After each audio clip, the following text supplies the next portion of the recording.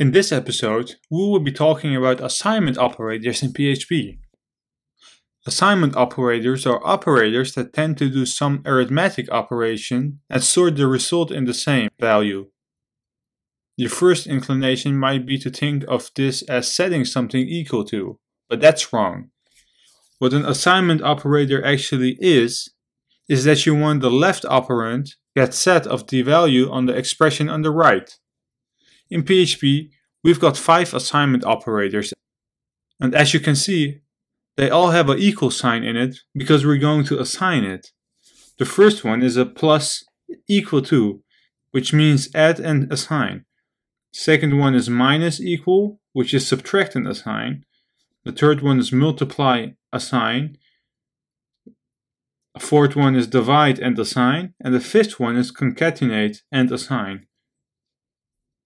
So let's create a variable and name it variable x and set it equal to 5.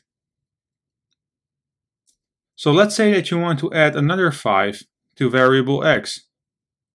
The way you could write it down, and you probably should do, is saying variable x is equal to variable x plus 5. Let's save it. Let's echo out variable x refresh the browser and the output is 10.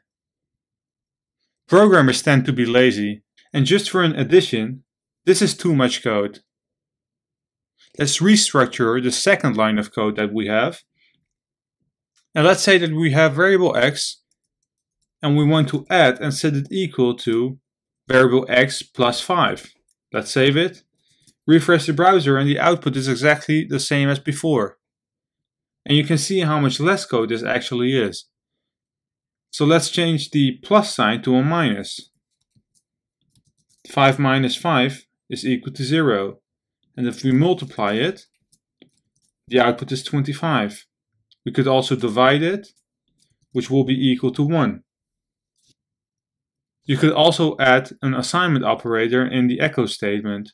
So let's say that we have the 1 because we're defining it by 5 again, and we want to plus set it equal to 5, which is equal to 6, because we have our 1 plus equal 5 is 6. The last assignment operator that we have is concatenate and assign. This cannot be done with two variables of data integer. So let's create a new variable called variable x and set it equal to 10. Well, you can concatenate with two integers, but the output will most likely not be what you expect. So let's test it out. Let's say that we want to echo out variable x and we want to concatenate with variable y. Let's save it, refresh the browser, and the output is 610. The 10 is basically pasted right behind the 6. So let's remove the echo. Let's also remove the y variable and let's create a new variable called string and set it equal to Dary is an old man. So let's write down string again and let's follow it by a punctuation mark and an equal sign. Now let's add a piece of code right behind it. Dary is an old man because he is 24 years old. Let's echo out string. Let's save it. Refresh the browser. Let's also add a break. And you can see that it just became one beautiful long sentence. This was it for this episode.